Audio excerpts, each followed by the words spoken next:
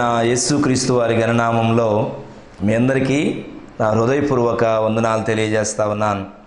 ప్రభు యొక్క మహాకృపను బట్టి ఆయన కనికరాన్ని బట్టి ప్రిలారా మనం సజీవులమై మరోమారు ప్రభుని యొక్క స్వరం వినగలుగుతూ ఉన్నాం. ఈ గొప్ప భాగ్యాన్ని ఈ గొప్ప ఆధిక్యతను దేవుడు నాకు మీకు అనుగ్రహించారు. అట్టి దేవుణ్ణి మనం ఎంతో స్తుతింపబద్ధులమై ఉన్నాం. మనకంటే జ్ఞానులు గొప్పవారు. లోకములో ఎంతోమంది కన్ను మూశారు. కృపగల దేవుడు కరుణాసంపన్నైన తండ్రి మన ఆయుష్ని పెంచి ఆరోగ్యాన్ని ఇచ్చి మరోమారు ఆయన మధురమైన మాటలు వినే భాగ్యాన్ని ప్రభు మనకు అనుగ్రహించారు. ఈ సమయంలో క్రీస్తు రాకడ స్వరం అనే కార్యక్రమాన్ని వీక్షిస్తున్న మీ అందరికీ నా హృదయపూర్వక వందనాలు తెలియజేస్తా ఉన్నాను. ప్రియులారా పరిశుద్ధ గ్రంథమైన బైబిల్లో నుండి దేవుని వాక్యం కొద్ది నిమిషాలు మనం ధ్యానం చేద్దాం. మొదటి సమయలు గ్రంథము తొమ్మిదవ అధ్యాయము మొదటి నుండి కొన్ని మాటలు చదువుకుందాం.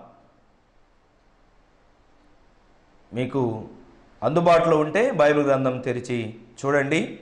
లేదా ఏ పనుల్లో ఉన్నప్పటికీ కొద్ది నిమిషాలు ఈ మాటలను ఆలకించాలని ప్రభువు పేరట తెలియజేస్తా ఉన్నాను. మొదటి సమయాల గ్రంథం తొమ్మిదవ అధ్యాయంలో రెండవ వచనం నుండి కొన్ని మాటలు చదువుదాం.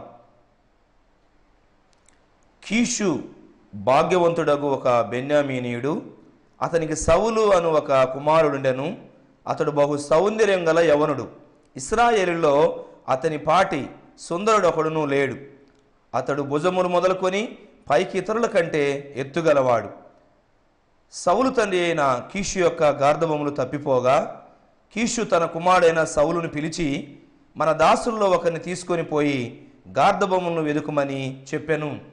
ప్రియులారా సౌలు యొక్క జీవితాన్ని మీరు చదివి ఉండొచ్చు విని ఉండొచ్చు. ఈ వర్తమానం ద్వారా సౌలులో ఉన్న కొన్ని మంచి విషయాలను అలానే సౌలులో ఉన్న కొన్ని పొరపాట్లను తప్పిదములను మనం నేర్చుకుందాం. ప్రిలారా దేవుని వాక్యం మనం ఎందుకు చదవాలి ఎందుకు ధ్యానించాలి ఈ సౌలు యొక్క క్యారెక్టర్ను ఎందుకు మనం ధ్యానించాలని ఆలోచిస్తే దేవుని వాక్యంలో ఇలా రాయబడి ఉన్నది. మొదటి కొరించులకు రాసిన పత్రిక పదవ అధ్యాయం పదకొండవ వచనంలో దేవుని వాక్యం మనకు బుద్ధి కలుటకై రాయబడినది అన్న విషయాలను చూస్తాం. అలానే రోమిలకు రాసిన పత్రిక పదిహేనవ అధ్యాయం నాలుగవ వచనంలో పూర్వమందు రాయబడిన సంగతులన్నీ కూడా మనకు బోధ కలుగుటకు రాయబడినవి. ప్రియులారా ఈ రోజు నుండి మనం క్రమముగా రాజుల యొక్క జీవితాన్ని మనం ధ్యానం చేస్తాం. పరిశుద్ధ గ్రంథంలో ఇంచుమించు పదముగ్గురు లేదా పద్నాలుగు మంది న్యాయాధిపతులు పరిపాలించిన తదుపరి సమయేలు న్యాయాధిపతిగా ఉన్న కాలంలో ఇస్రాయేల్ ప్రజలు వచ్చి సమయేలుతో ఇలా అంటా ఉన్నారు. మొదటి సమయలు గ్రంథం ఎనిమిదవ అధ్యాయం నాలుగవ వచనంలో ఇస్రాయేల్ పెద్దలందరూ కూడి రామాలో సమయోలనొద్దకు వచ్చి సిత్తగించుము నీ వృద్ధుడవు నీ కుమారులు నీ వంటి ప్రవర్తన గలవారు కారు గనుక సకల జనుల మర్యాద చొప్పున మాకు ఒక రాజును నియమింపము. అతడు మాకు న్యాయం తీర్చునని అతనితో అనిరి. ప్రిలారా ఇక్కడ ఇస్రాయేల్ ప్రజలందరూ రాజు కావాలని అడుగుతూ ఉన్నారు. అప్పటి వరకు దేవుడే వారికి రాజుగా ఉండి వారిని నడిపిస్తూ వచ్చారు. ప్రిలారా ముందున్న చరిత్రను మనం గమనిస్తే అబ్రహామును దేవుడు ఏర్పాటు చేసుకొని అబ్రహాం తర్వాత ఇసాకును దేవుడు ఏర్పాటు చేసుకొని ఇసాకు తర్వాత యాకోబును దేవుడు ఏర్పాటు చేసుకొని యాకోబు యొక్క పన్నెండు మంది పిల్లలను దేవుడు వాడుకుంటూ వచ్చారు. యాకోబు యొక్క సంతానం మరి డెబ్బై మందిగా ఐగుప్తు దేశం వెళ్ళడం అక్కడ నాలుగు వందల ముప్పై సంవత్సరాలు ఐగుప్తు దేశంలో గోషేనులో నివసించారు. యోషేపు మరణించిన తదు తదుపరి యోషేపును ఎరుగని రాజు. మరి ఐగుప్తు దేశాన్ని ఏలుబడి చేయడం ఇస్రాయేల్ ప్రజలు బహు కష్టాల్లో బాధల్లో వెట్టి చాకిరిలో విరపకాడి క్రింద నలిగిపోతూ దేవునికి మొరపెట్టగా దేవుడు మోషేను పంపించి ఇస్రాయేల్ ప్రజలను ఐగుప్తు దేశం నుండి పాలు తేనెలు ప్రవహించు దేశానికి నడిపిస్తూ వచ్చారు. మోషే మరణించిన తదుపరి దేవుడు తన సేవకుడైన యహోషువాని ఏర్పాటు చేసుకున్నారు. యహోశివ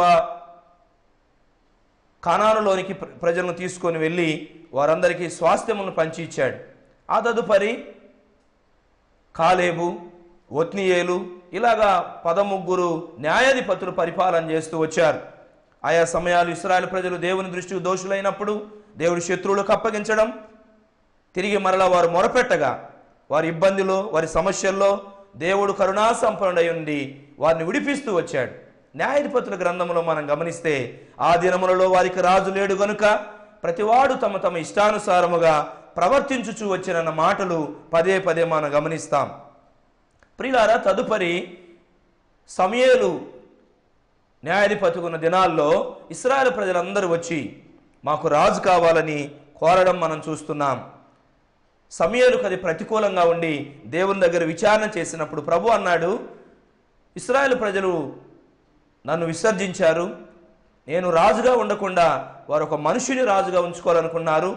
సరే సమయాలు వారు అడిగినట్టుగా నేను ఒక వ్యక్తిని నీ యొద్దకు పంపిస్తాను. రేపు అతను నీ యొద్దకు వస్తాడు. అతన్ని అభిషేకించమని దేవుడు సమయాలతో మాట్లాడతాడు. ప్రియులారా ఎందుకు ఈ విషయాలను జ్ఞాపకం చేస్తున్నామంటే మన జీవితాల్లో కూడా అనేక సార్లు మనం బలహీనులమైనప్పుడు అనేక సార్లు మనం కష్టాల్లో ఇరుకుల్లో ఇబ్బందుల్లో ఉన్నప్పుడు మనం దేవునికి మొరపెట్టడం ద్వారా దేవుడు జవాబిచ్చు వాడై ఉన్నాడు. వాస్తవంగా దేవుడే వారికి రాజుగా ఉండి ప్రభువుగా ఉండి వారిని నడిపిస్తూ వచ్చాడు. ప్రజలు అంటున్నారు సకలలోక మర్యాద చొప్పున. అందరికీ ఉన్నట్టుగా. జనములు చేయు రీతిని మేమును చేయనట్లు మాకు రాజు కావలెను. మా రాజు మాకు న్యాయం తీర్చును. మా ముందర పోవచ్చు అతడే మా యుద్ధములు జరిగించుననిరి. ఆ సమయంలో వారు రాజును కోరినప్పుడు దేవుడు వారికి రాజునిచ్చాడు. రాజుని ఇవ్వడానికి ముందుగా ఆ రాజు ఎలా ఉంటాడు? రాజు వచ్చిన తర్వాత రాజ్యంలో ఎలాంటి పరిస్థితులు ఉంటాయో వారికి వివరించిన తర్వాత బెన్యామీన్ గోత్రంలో నుండి కీసు యొక్క కుమారుడైన సౌలును దేవుడు ఎన్నుకున్నాడు. కీసు అనే ఈ భాగ్యవంతుని యొక్క గార్ధబొమ్మలు గాడిదలు తప్పిపోయినప్పుడు సవులు వెతుక్కుంటూ వెళ్ళాడు. రెండు మూడు రోజులు వెతికినప్పటికీ అవి కనబడలేదు. ఆ సమయంలో వీరు దీర్ఘదర్శి అయిన దైవ సేవకుడైనా సమయలు వెళ్ళడం సమయలతో దేవుడు మాట్లాడిన రీతిగా ఆ సమయలు మరి సౌలును అభిషేకించడం జరిగింది.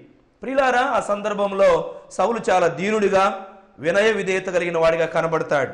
సమయలు సౌలుతో చెప్పినప్పుడు ఇస్రాయేల్ యొక్క రాజును కాబోతున్నావు అన్నప్పుడు నేనే పాటివాడని నా గోత్రం ఏ పాటిది నా స్థితి ఏ పాటిది? అని సౌలు చెప్పాడు. సమయలు సౌలును అభిషేకించిన తర్వాత దేవుడు సౌలుకు క్రొత్త మనసు అనుగ్రహించను అని మొదటి సమయలు గ్రంథం పదవ అధ్యాయం తొమ్మిదవ వచనంలో రాయబడి ఉన్నది. సౌలు ప్రవక్తల దగ్గరికి వెళ్ళడం ప్రవక్తలతో పాటు ప్రవచించడం జరిగింది. ప్రియారా ఇలా జరిగిన తర్వాత సమయేలు ఒక మాట చెప్పాడు. పదమూడవ అధ్యాయం ఎనిమిదవ వచనంలో నేను వస్తాను మరి నువ్వు గెల్గాలలో నిలిచి ఉండు. నేను వచ్చి దహన బలి అర్పించిన తర్వాత నీకు విషయాలను తెలియపరుస్తాను. అప్పుడు యుద్ధానికి వెళ్దు అని చెప్తాడు. దైవ సేవకుడైన సమయేలు సౌలుకి ఇచ్చిన మొట్టమొదటి ఆజ్ఞ అది. మొట్టమొదటి మాట అది. దేవుని వాక్యం చదువుదాం. పదమూడవ అధ్యాయం ఎనిమిదవ వచనంలో. సమయాలు చెప్పినట్టు అతడు ఏడు దినములు ఆగి సమయాలు గిల్గానకు రాకపోవటయు జనులు తన యుద్ధ నుండి చెదరపోవటయు చూచి దహన బలులను సమాధాన బలులను నా యుద్ధకు తీసుకుని రమ్మని చెప్పి దహన బలు అర్పించెను. అతడు దహన బలి అర్పించి చాలించిన వెంటనే సమయలు వచ్చెను. సౌలు అతన్ని కలుసుకొని అతనికి వందనం చేటుకై బయలుదే బయలుదేరగా సమయలు అతనితో నీవు చేసిన పని ఏమని అడిగాను? అందుకు సౌలు జనులు నా యుద్ధ నుండి చెదరిపోవటయు నిర్ణయ కాలంలో నీవు రాకపోటీస్తీయులు మిక్మాషులో కూడియునుటయు నేను చూచి ఇంకను యహోవాను శాంతిపరచక మునుపే ఫిలిస్తీయులు గిల్గాలనకు వచ్చి నా మీద పడుదురనుకొని నా అంతటి నేనే సాహసించి దహన బలి అర్పించితన నేను రాజుగా అభిషేకించబడిన తర్వాత అతనికి అప్పగించబడిన మొట్టమొదటి పని అది. నువ్వు ఆగు అని చెప్పాడు. ప్రిలారా అతని తొందరపాటు అతని తొందరపాటు నిర్ణయం అతనికి ఓర్పు లేకపోవడం వలన సహనం లేకపోవడం వలన ఎంత నష్టపోయాడో. సౌలు పట్ల దేవుని ఉద్దేశం ఏంటంటే ఇస్రాయేళ్ళ మీద సదాకాలం అతని రాజుగా ఉండడానికి దేవుడు తలంచాడని పదమూడో అధ్యాయం పదమూడు వచనంలో చూస్తాం. మన పట్ల కూడా దేవుడు ఎంత గొప్ప ప్రణాళిక కలిగి ఉన్నాడు. కనిష్ట గోత్రి గోత్రానికి చెందిన బెన్యామీన్ గోత్రంలో నుండి ఇస్రాయేళ్ళకు శిరస్సుగా ఉండడానికి రాజుగా ఉండడానికి దేవుడు సౌలును ఎన్నుకున్నట్లుగా ఈ మాటలు వింటున్న సహోదరుడా సహోదరి ప్రియులారా దేవుడు మనల్ని కూడా ఏర్పాటు చేసుకున్నాడు. మనల్ని కూడా ఆయన ఎన్నుకున్నాడు. జగత్పునాది వేయబడక మునిపే పిండముగా తల్లి గర్భంలో రూపింపబడక మునిపే దేవుడు మనల్ని ఏర్పాటు చేసుకున్నాడు. తన ఉద్దేశాలు నెరవేర్చడానికి తన చిత్తాన్ని చేయడానికి తన ఆజ్ఞలు గైకొనడానికి తన మాటకు లోబడడం కొరకై దేవుడు మనల్ని ఏర్పాటు చేసుకున్నాడు. యశయ గ్రంథం నలభై మూడు అధ్యాయం ఏడో వచ్చినంలో నా మహిమ కొరకు నేను ప్రజలను నిర్మించానన్నాడు దేవుడు. సర్వ సృష్టికర్త అయిన దేవుడు సర్వజ్ఞుడైన దేవుడు. తన మహిమ కొరకై మానవులమైన మనల్ని నిర్మించాడు. మన ద్వారా దేవునికి కీర్తి ఘనత మహిమ కలగాలని దేవుడు నిన్ను నన్ను సృష్టించాడు.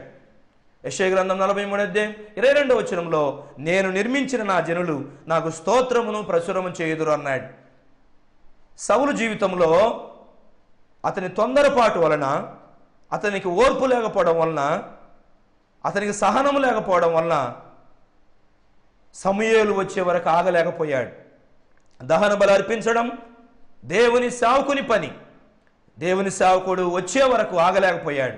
మన జీవితాల్లో కూడా కొన్నిసార్లు మనం తొందరపడి తీసుకునే నిర్ణయాలు మన శాశ్వత కాల భవిష్యత్తును దెబ్బతీస్తాయి.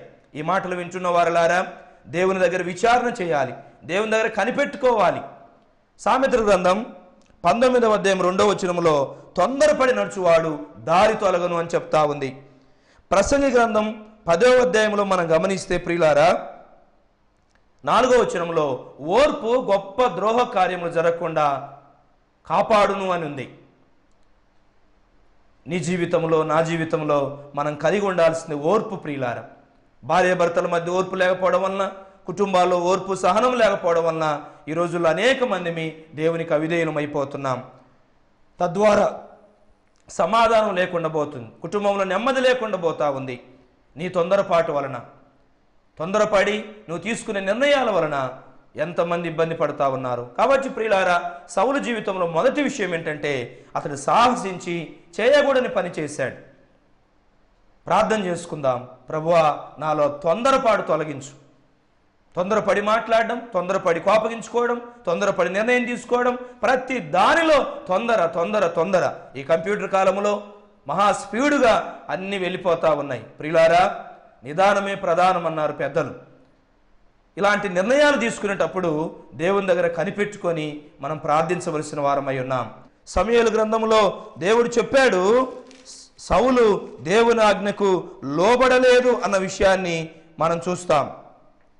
మొదటి సమయలు గ్రంథం ఇరవై ఎనిమిదవ అధ్యాయం పద్దెనిమిది వచ్చినంలో యహోవాజ్ఞకు నీవు లోబడక అమాలేకీయుల విషయంలో ఆయన తీక్షమైన కోపమును నెరవేర్చకపోయిన దాన్ని బట్టి యహోవ నీకు ఈవేళ ఈ ప్రకారముగా చేయుచున్నాడు. ప్రిలారా గమనించారా?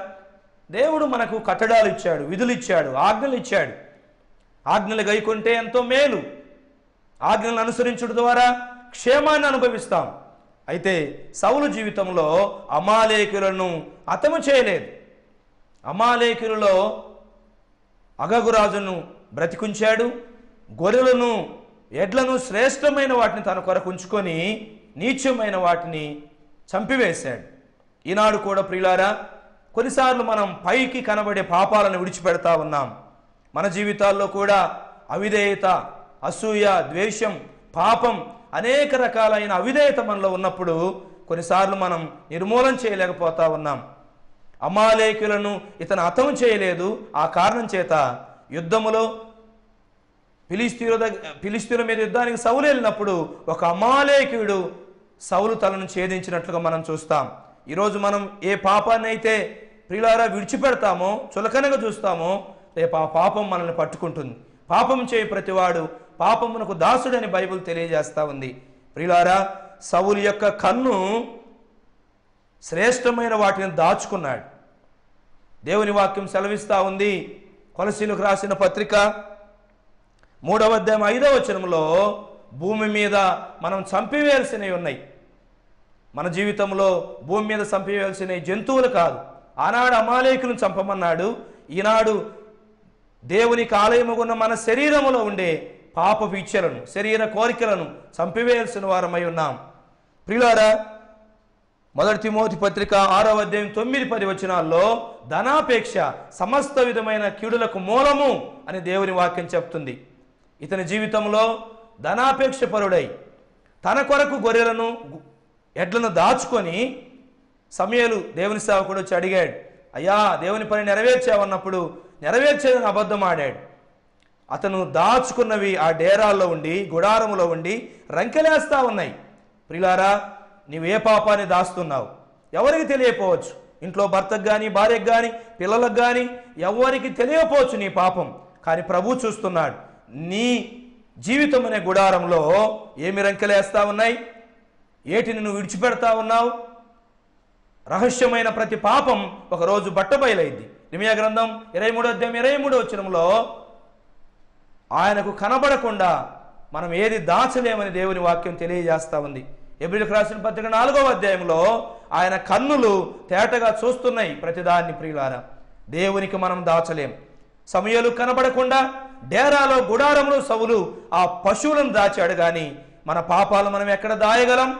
కనుక ప్రియులారా దేవుని దగ్గర ఒప్పుకొని మన రహస్య పాపములను మన అవిధేయతను ఒప్పుకుంటే మనం కనికరించబడతాం.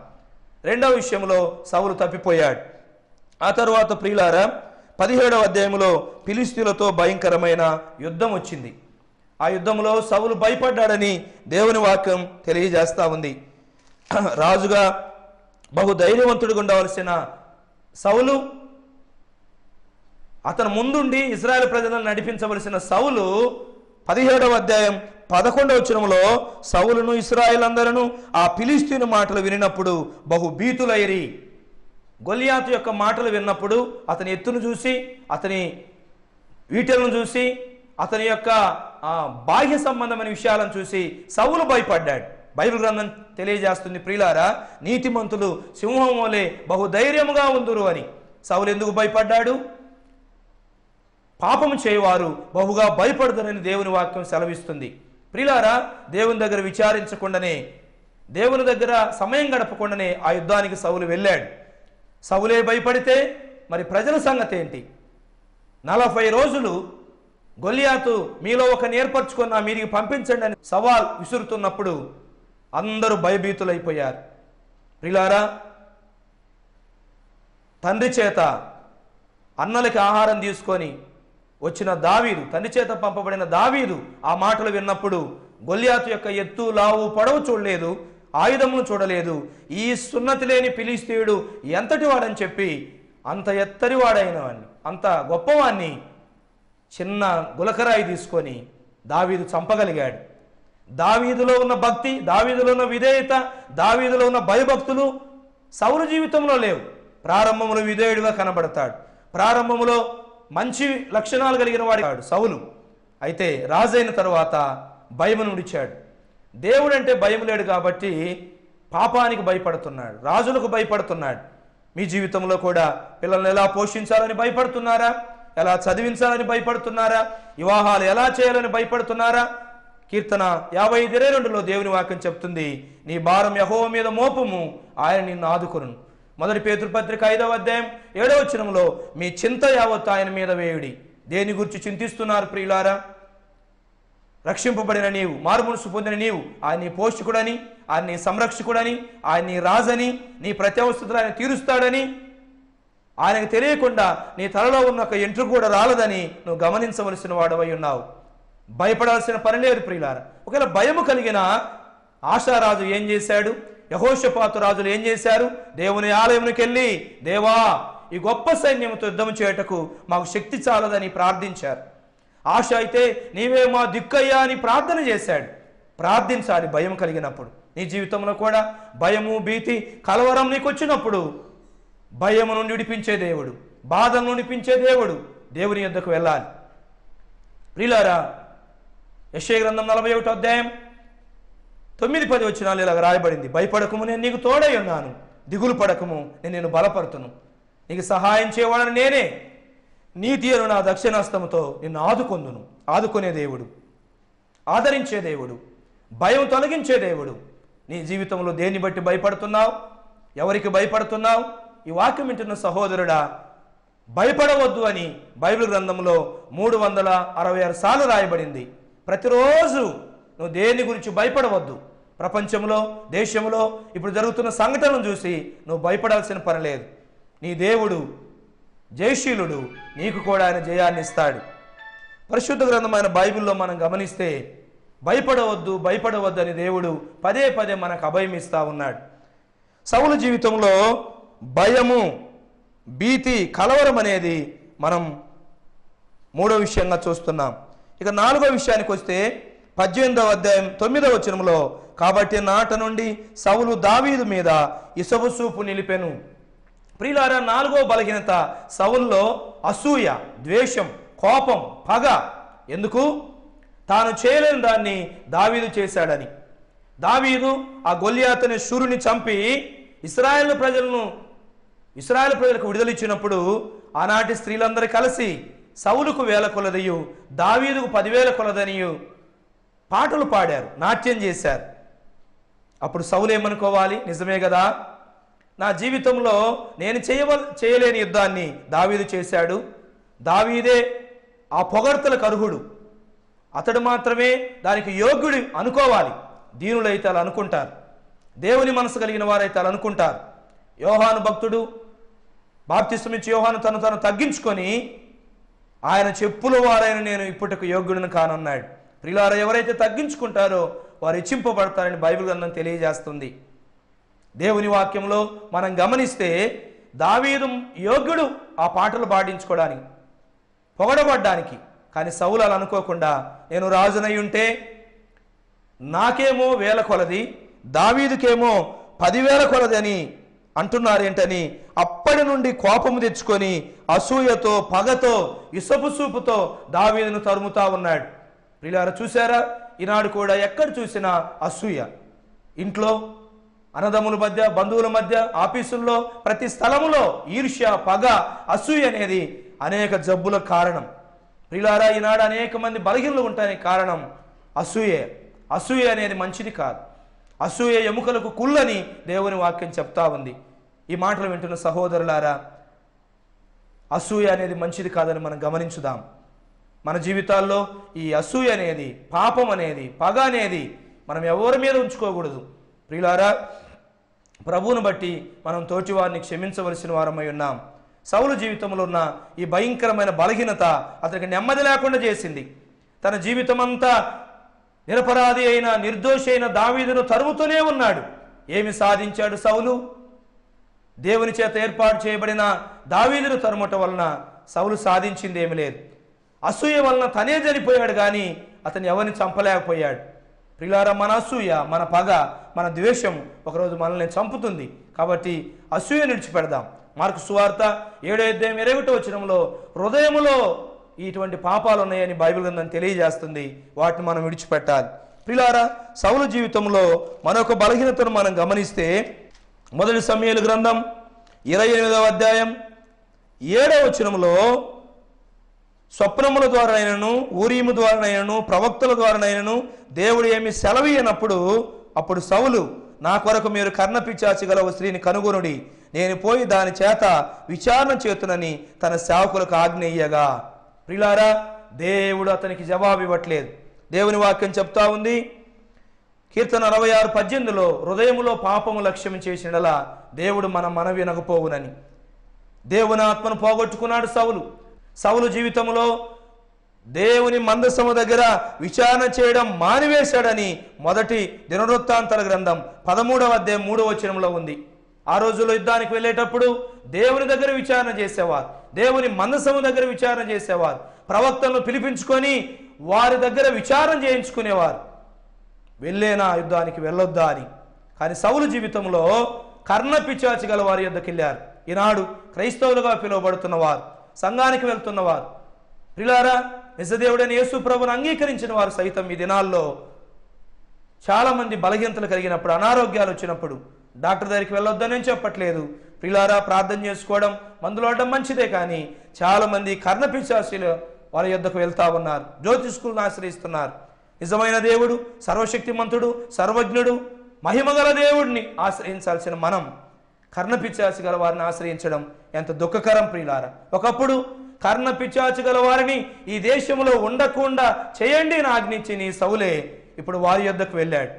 ప్రిలారా కుక్క తన వాంతికి తిరిగినట్లుగా కడుగుబడిన పంది మరలా బురదలో పొరినట్లుగా ఒకప్పుడు కర్ణ పిచ్చాచి గల వారందరిని వెళ్ళగొట్టుడి అని చెప్పి నీ సవులే వారి దగ్గరికి వెళ్ళడం ఎంత సిగ్గుసేటు దేవుని దాసుడై ఉండి దేవుని చేత అభిషేకించబడిన వాడై ఉండి ప్రిలారా దేవుని దగ్గర నుండి జవాబు పొందుకోలేక చివరికి కర్ణపిచ్చాసి గల వారిని ఆశ్రయించి తన ప్రాణాన్ని పోగొట్టుకున్నాడు. ఈ వాక్యాన్ని ముగింపులో మీకు ఒక మాట చెప్తున్నాను ప్రియులారా. సవులు యొక్క ముగింపు బాగలేదు. సవులు జీవితం బాగలేదు. యుద్ధంలో చివరికి తన కత్తి మీద తానే పడి చనిపోయాడు. సవులు వలన తనకు నెమ్మది లేదు. తన కుటుంబానికి నెమ్మది లేదు. తన కుమారులు ముగ్గురు కూడా యుద్ధంలో సౌలుతో పాటు మరణించారు. బైబిల్ చెప్తుంది సౌలు కుటుంబం అంతకంతకు నీరుసిల్లెను అని. కారణం ఏంటంటే ప్రిలారా ప్రార్థన లేని జీవితం. సమయలు జీవితంలో క్షమించండి. సౌలు జీవితంలో సమయలు దేవుని సేవకుని దుఃఖపెట్టాడు. దేవుని దుఃఖపెట్టాడు. దేవుడు పలుమార్లు అతన్ని హెచ్చరించినప్పుడు దేవుని సేవకుల ద్వారా దేవుడు అతన్ని గద్దించినప్పుడు ఆ మాటకు లోబడలేదు సరి చేసుకోలేదు చక్కపరుచుకోలేదు. పాపినయ్యా అవిధేయుడునయ్యా అని దేవుని దగ్గర క్షమాపణ కోరుకోలేదు. ప్రిలారం మన జీవితాల్లో కూడా అనేక సార్లు మనం జారిపోతున్నప్పుడు పడిపోతున్నప్పుడు త్రొట్టిల్లుతున్నప్పుడు దేవుని వాక్యం ద్వారా దేవుడు హెచ్చరిస్తూ ఉంటాడు. దేవుడు గద్దిస్తూ ఉంటాడు. అయితే దేవుని స్వరమిని దేవుని మాటకు లోబడితే మన పాపాలను క్షమిస్తాడు. ఇంక అంతకంతకు మనల్ని వర్ధిల్ల చేస్తాడు. ఈ సౌలు జీవితంలో ఉన్న అవిధేయతలు మన జీవితంలో ఉండకుండును గాక. అప్పగించిన పనిలో తొందరపడ్డాడు. దేవుని ఆజ్ఞ నెరవేర్చలేదు. దావీద మీద ఇసుపు నిలిపాడు. యుద్ధమునకు వెళ్తున్నప్పుడు సారీ భయపడ్డాడు. చివరిగా అతని జీవితంలో కర్ణపిచ్చాచి గల వారి యొద్దకు వెళ్ళాడు. ఇటువంటి కార్యక్రమాలు మనకు దూరమగునుగాక మనం దేవుని యొద్ద విచారణ చేద్దాం దేవుని పాదాలు పట్టుకుందాం. ఏ పరిస్థితుల్లోనైనా చాలిన దేవుడు నమ్మదగిన దేవుడు మన ఆశ్రయదుర్గం ఆపత్కాలమందు నమ్ముకొనదగిన సహాయకుడు. ఈ సౌలులాగా మన జీవితం ఉండకున్నట్లుగా ప్రార్థన చేసుకుందాం. నీలో భయం ఉందా నీలో తొందరపాటు ఉందా నీవు జీవితంలో మందిరానికి వెళ్ళకుండా దేవుని సేవకులను ఆశ్రయించకుండా దేవుణ్ణి ఆశ్రయించకుండా ఎక్కడికైనా ఇతర స్థలాలకు వెళ్ళి బాగలేనప్పుడు మనుషులను ఆశ్రయిస్తున్నావా? ప్రిలారా తన తన కొరకై తన క్షేమం కొరకై నిర్ణయించబడిన ప్రవక్తను దీర్ఘదర్శిని న్యాయాధిపతి అయిన సమూహాలను కూడా సవులు దుఃఖపెట్టినట్లుగా మనం చూస్తాం. మన జీవితాల్లో కూడా దేవుని సేవకుని లేదా దేవుణ్ణి మనం దుఃఖపెట్టకూడదు. దేవుణ్ణి దేవుని సేవకుని దుఃఖపెట్టిన వారు ఎవరు చరిత్రలో బాగుపడలేదు ప్రియులార. ఒకవేళ మీ సేవకుని నువ్వు దుఃఖపెట్టుంటే కష్టపెట్టుంటే లేదా దేవుణ్ణి నువ్వు దుఃఖపెట్టుంటే మీలో ఉన్న పరిశుద్ధాత్మను దుఃఖపెట్టకుడి అని బైబిల్ చెప్తుంది. తక్షణమే మోకాల్లోని ప్రభువా పలాని విషయంలో తొందరపడి మాట్లాడాను పలాని విషయంలో అవిధేయుడనయ్యాను పలాని విషయంలో నేను తొందరపడ్డాను అని క్షమాపణ కోరుకోవడం మంచిది. ప్రిలారా పాప క్షమాపణ అనుగ్రహించడానికి దేవుడు సిద్ధంగా ఉన్నాడు. దేవుడు క్షమించు మనసు గలవాడు. తన ఎద్దకు వచ్చి వారిని ఎంత మాత్రం త్రోసివేనని ప్రభు చెప్తున్నాడు. సౌలు జీవితంలో ఉన్న అవిధేయతలు ఈ బలహీనతలు ఒకవేళ మనలో ఉన్నాయేమో పరిశీలించుకొని పరీక్షించుకొని ముందు కొనసాగుదాం. మన పాపం నిమిత్తమై కరుణాసంపన్నైన దేవుడు మహిమను విడిచి మంటి దేహాన్ని దాల్చి మానవునిగా వచ్చి ఆయన మన కొరకై అమూల్యమైన రక్తాన్ని కార్చాడు. ఏసు రక్తం ప్రతి పాపం నుండి కడిగి మనం పవిత్రులుగా చేస్తుంది. మనలో ఉన్న అవిధేయతలు మనలో ఉన్న బలహీనతలను ఆయన క్షమించడానికి సిద్ధ మనసు కలిగి ఉన్నాడు. మరి నీవు సిద్ధమా? ఇప్పుడే ఉన్న పాటున తండ్రి నేను పాపిని. నా జీవితంలో తొందరపాట్లు ఉన్నాయి నా జీవితంలో అవిధేయతలు ఉన్నాయి నా జీవితంలో కూడా భయము భీతి కలవరం ఉందని దేవుణ్ణి పాదాలు పట్టుకో. దేవుడు నిన్ను కరుణిస్తాడు. అట్టి కృప ప్రభు మీకు అనుగ్రహించునుగాక. ఆమె అందరికీ హృదయపూర్వక వందనాలు.